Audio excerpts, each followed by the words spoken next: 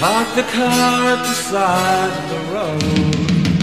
You should know time's tide will smother you.